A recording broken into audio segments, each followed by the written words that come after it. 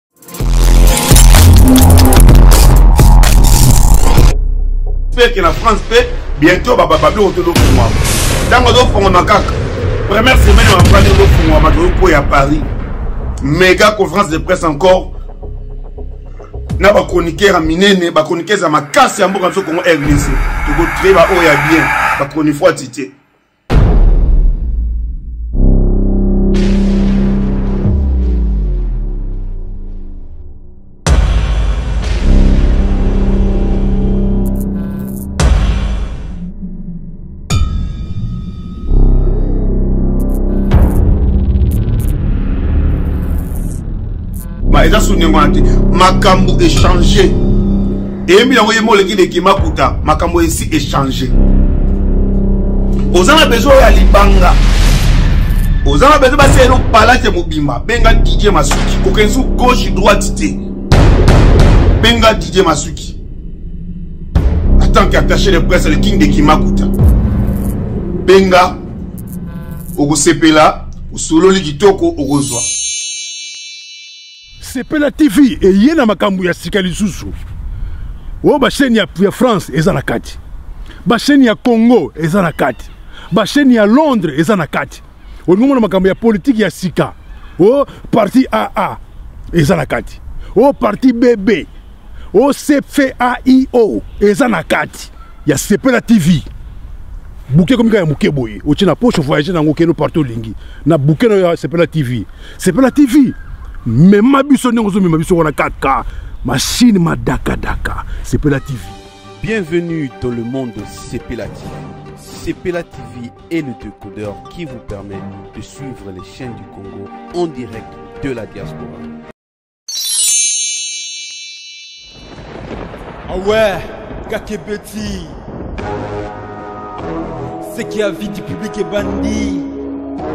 Y'a mon balama des fois pembe. Didier Masuki. Andy Chou, Narcisse Desaron.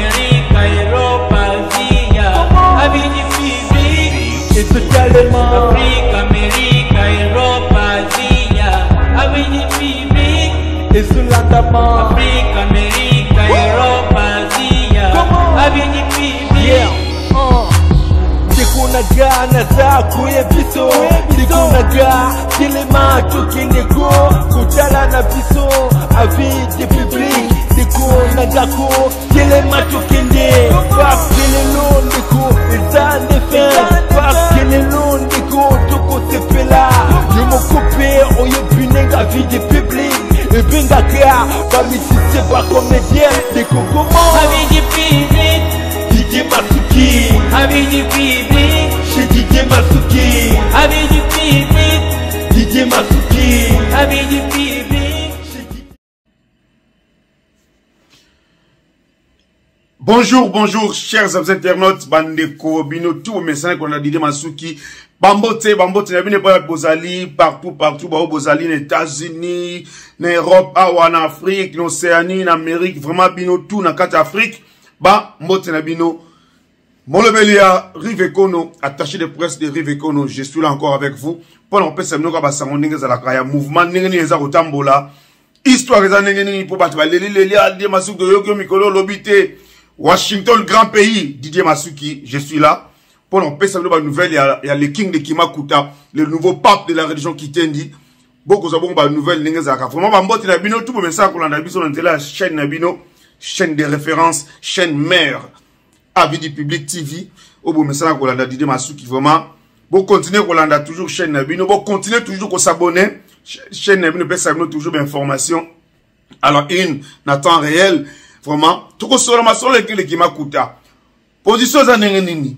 le king ekimakuta na minute azosala nini mpe akosala nini vraiment bambote na bino shikito mushashino bambote na esika ozali kulutu asha movoto pai grande bambote na epai ozali kulutu mangela didie masuki na bosano te bambote ebele epai ozali andy iris bambote na epai ozali tomeka kosola moke lisolo ya liking de kimakuta l'homme du moment moto abouge monde moto abouge continent afrique mobimba donc deux fois te partout partout tout le monde en parle le king de kimakuta le marshal rive nkono vraiment toza na bino bolanda nde mwa extrait oyo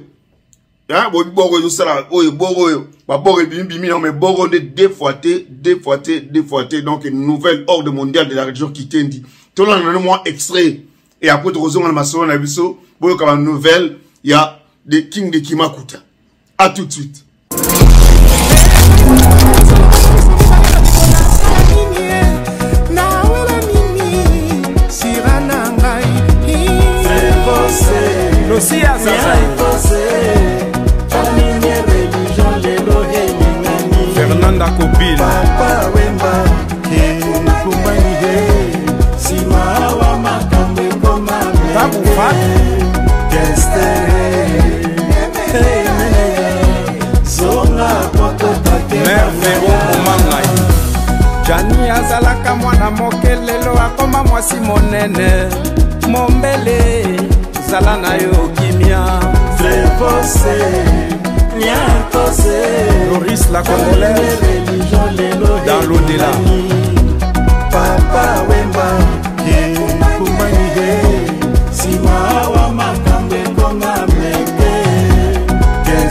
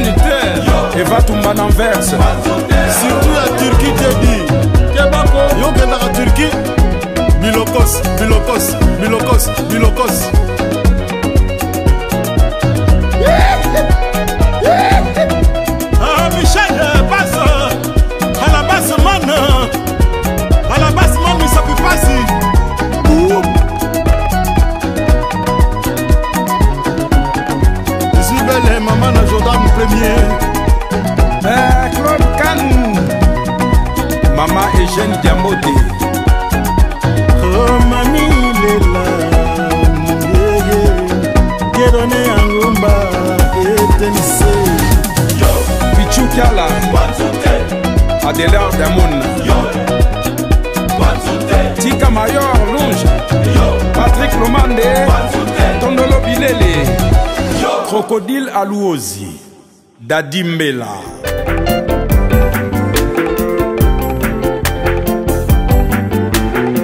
John Mubiala. Nakata Switzerland. Nalata nanga Andy Iris. Boutique. Igos Lembelemba. John Meri Kengekumbu. Walai. tobongwana te mpo na pantalon da chemise kitendi tokotika te kasi totonga nde famille ye cavalier jansi mayasi force italia na diego monama le millionnaire yoka équipe de france toujours eh, siril kina mpumu kimbangu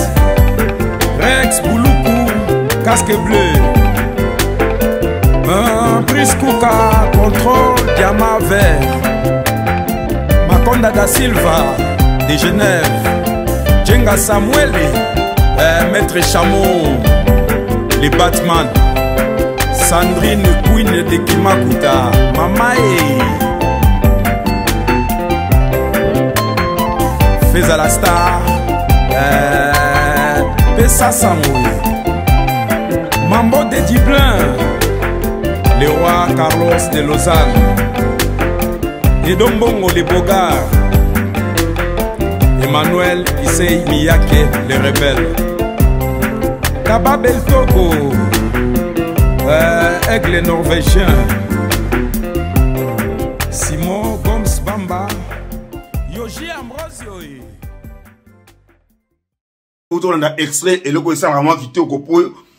basaper basepeli monde ya forme ebebaki basaper bazongi ezongisi bango masolo oyo ntango tobeta na peti nabeti forme masolo na emona ye moko ozosala ye plaisir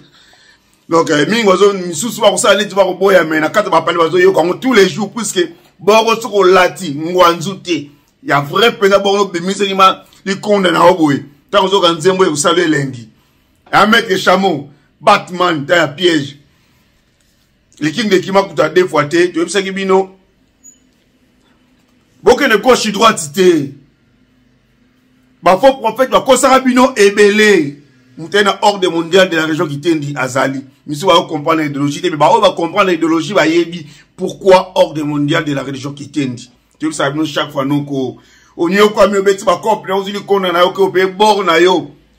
ya vrai ya ngwanzu te ale motu moko boye ake na chine ake na turquie basalisi yango aye ye oniokami na bord na yo ya danger osombi cher ye mpe tobetaka na pepe osala mpe fiere na feti okoza ya ngwanzu so babiloko wana tu yango le king de kimakuta aboyi yango asali système ya ordre mondial de la religion kitendi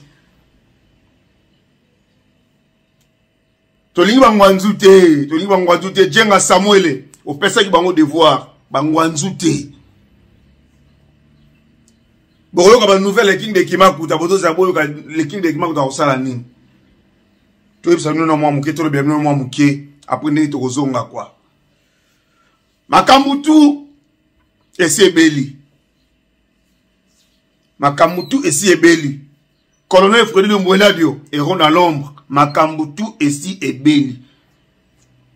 kulutu nsuka cuba cubak makambo tu esi ebeli soki attaché de presse na ye koloba mpo makambo esi ebeli tokopesa programme ya likingi leki makuta j'espère omoni ke mikolo dine masuki naleki te nalobi te puiske boyebi ke na makambo tout artiste et tout mpo abima il faut bandima ye nao na afrique mpo tozalaka mboka makele makele mpo tozalaka afrike ememi eyeli biso ya biso tolandi mouvement e bandule tokei tokei c'est pourquoi le king de kima kuta se a félicité abandi na koningisa poto avant que afrique endima aningisi na bapoto bato bazwa kipelekese me nani kieri bekono kieri bekono bomoni bozwi totali tu bato baza kotyatela batembe bomoni bana ya bana papa wemba bomoni bafoto bavideo tu bomoni le king de kimakuta mega conférence de presse euti kosamba na kinshasa ekangisaki bajournaliste tout oyo tobenga bagrosse molire ya kini ya bachaine ya minene ya kinshasa bokomona na bavideo epuis euh, soki otali bakomi euh, le king de kima kuta ça a un sens ya kochanger mentalité ya kotinda jeunesse non pas bateka lopango kuna okende mais faut oyeba kotanga oyeba korefléchir oluka mpe mosala parce que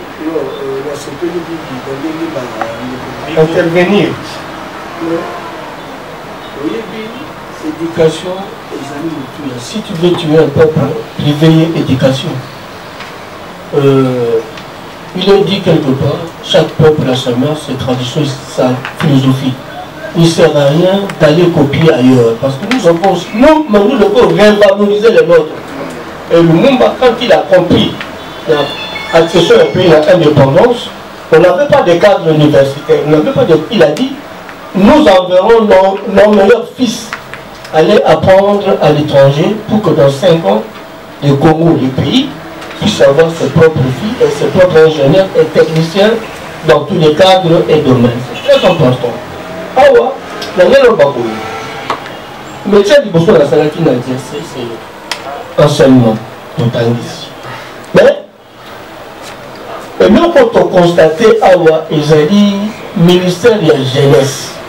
na éducation ntango na biso moni na airbus na ndolo tozalaki na centre bidama mingi bana baza kosala école buissonnière izali na ba là-bas on t'apprend d'abord l'essentiel écrire miki ofele ntenge madesu contre badeblo ya pamba Mais ba boma biloko wana. Moi je travaille à la GMP. Tango lobi.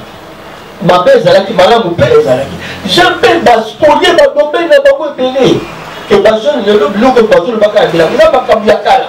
Mais oh mokonzi akoya ateki. Oyo akoya ateki. Oh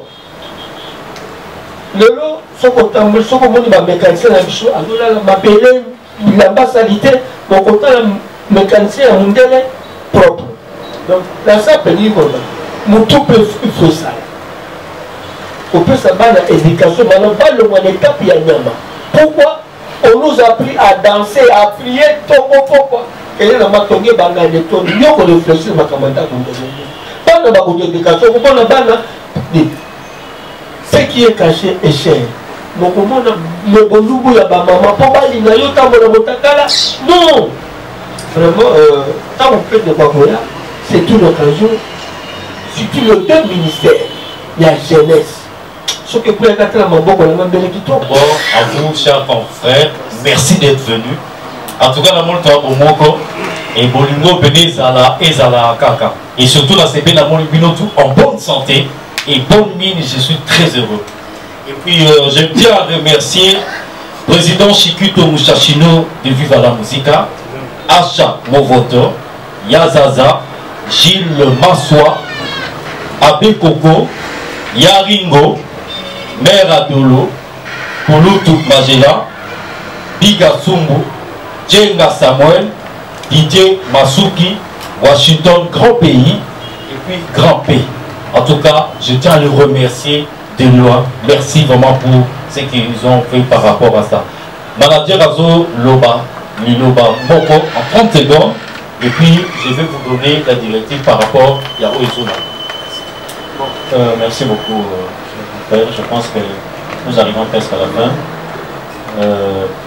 ndenge tolobaka nous sommes de bantu soko ya mbe mopaya okotika ye kaka ndenge wana te sans ke amela ata mwa mai comme il fait tellement chaud ici on peut se mettre même ici pour 5 minutes seulement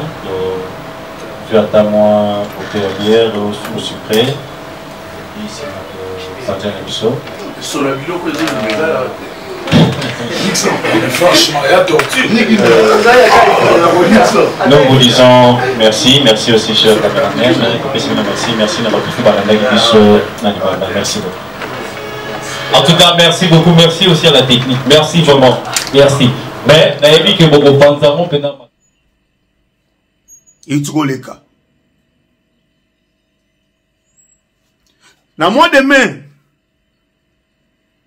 oyo tozokota wana mois de mai eza deux fois te le king de kimakuta aza kozonga na studio na paris avant ya kozonga na studio na paris déjà semaine prochaine biso na suisse a ah, lundi lobi lundi lelo toa dimanche le 18 lobi lundi le 19 babiloko tout ouvert tout efungwami alors j'espère que na france mpe bientôt babiloko to ezofungwama ntango ezofungwama kaka première semaine makambo kaka ndenge ezofungwama tozokwea paris mega conférence de presse encore na bachroniqueur ya minene bachroniqueuse ya makasi ya mboka biso congo rdc tokotrie baoyo ya bien bachronifuati te puisque likini de kimakuta aza moto apanga pamba te c'est un patron en dehors ya musique donc akozala chronifuati te oya kosala conférence de presse na ye bamarlene kasanga bakozala wana ye moto akozwa charge ya bajournaliste oyo bakosala conférence de presse wana mega conférence de presse na paris de fois te après conférence de presse wana le king de kimakuta azozonga susu studio mama na ngai azozonga studio e na studio oyo le king de kimakuta azozonga aza na quatre chanson oyo ezobima na quatre chant wana oyo ezobima azoyembela 4 play grand play ba 4 play ya danger en commençant par washington grand pays aza na nzembo na ye na kati mama na eloko ya kosakana te nayebi te nani apesaka le king de kimba kuta banzembo oyo toyebi te soki nani akomelaka ye toyebi te tokomi olemba bozalaka na mutu boye na nzelaka bozosola ye azokoma oh bozolia boye azokoma washington grand pays mama na champ ya kosakana te te kwa te trois fois po ete washington grand pays toza mpe na nzembo ya mpe na biso asha movoto pai grande de fois te de fois te eloko wana toyebi te tosaleli kaka ndenge mpe asha movoto alobaki abike ngai yanga bozala presi te il faut bamoi ebanda mpenza mpo naza na systeme na nga clip na nga nalingi ndenge ekozalela yango ekoki bamoi yango ebandi mama na eloko ya vile biso asha movoto toye lisusu na nzembo mosusu ya misato ya jansi mayasi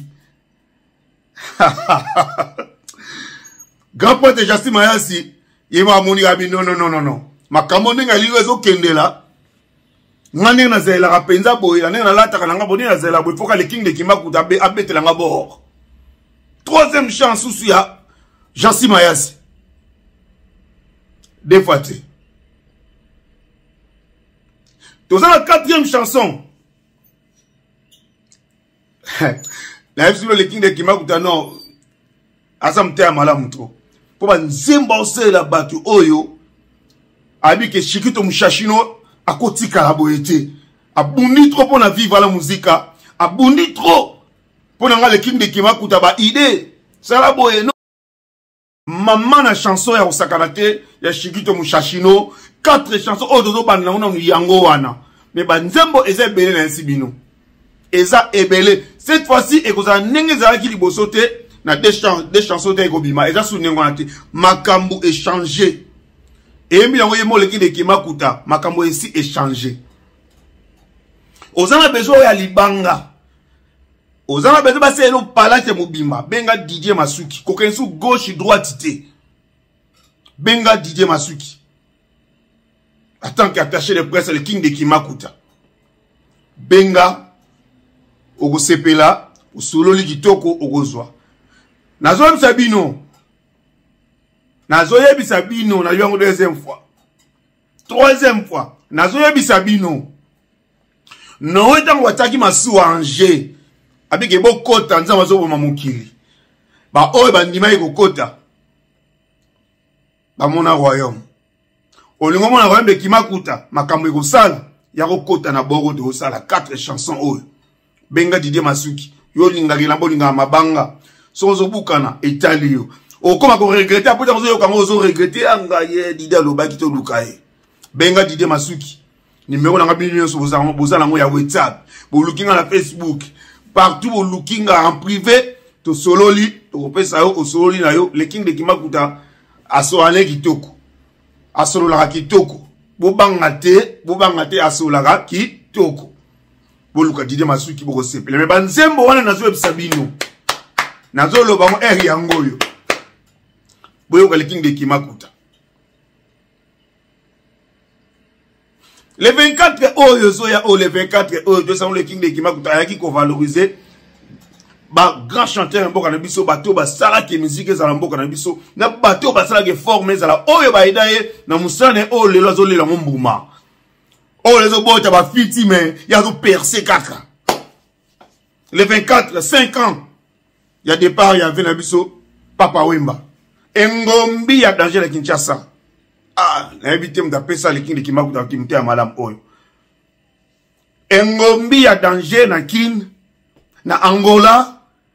na congo brazzaville na burkina faso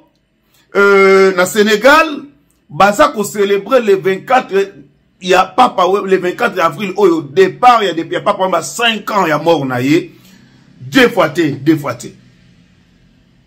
toyebisaki bino ke rive ekono c'est un bon gaillard très gentil deux fois te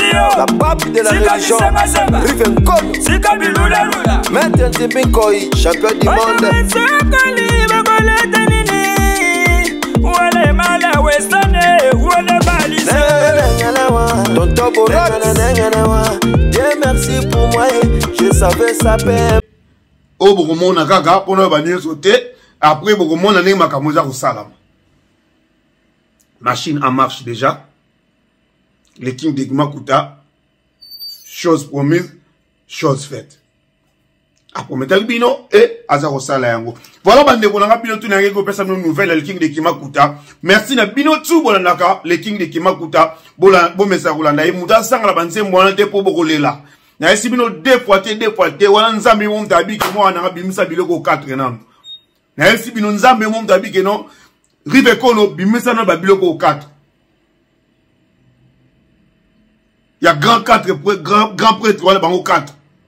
biloko na bango ezobima nano washington grand pays kulutu asha movoto jansi mayasi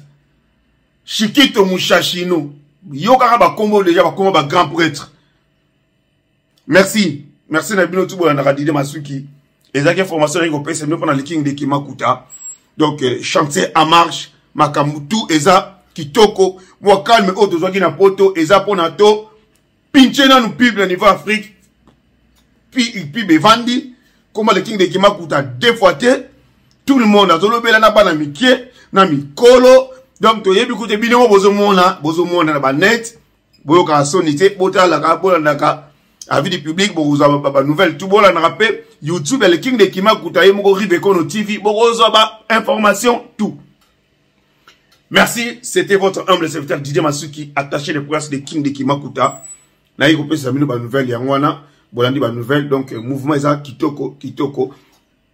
bambote na bino tout super anita lelo vrai chéri na leo ma femme bambote no epai ozali euh, bajournaliste nazo ya paris toza koya, toza koya kala mingi te boko tokosala mega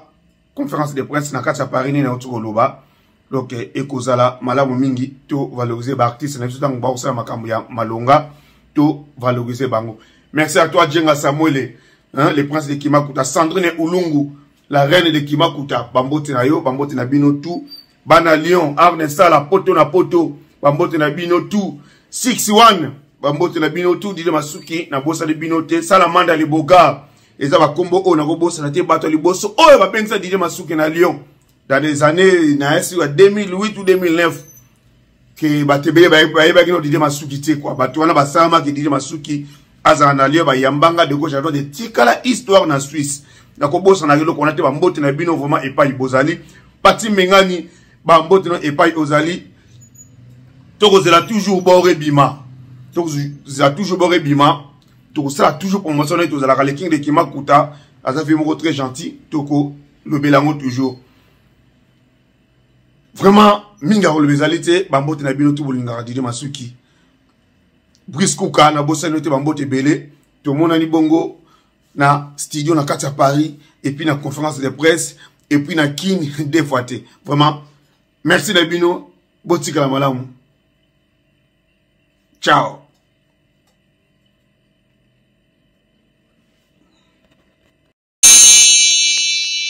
sepela tv eye na makambo ya sika lisusu oyo basheni ya france eza na kati basheni ya congo eza na kati basheni ya londres eza na kati olingo na makambo ya politiki ya sika o parti aa eza na kati o parti bb OCFAIO eza na kati ya Sepela TV. Buke ekomi kaka ya moke boye otie na poche voyage nango okende partout olingi na buke nayo ya Sepela TV. Sepela TV mema biso ndenge ozomema biso wana kaka mashine madakadaka Sepela TV. Bienvenue dans le monde Sepela TV. Sepela TV est le décodeur qui vous permet de suivre les chaînes du Congo en direct de la diaspora.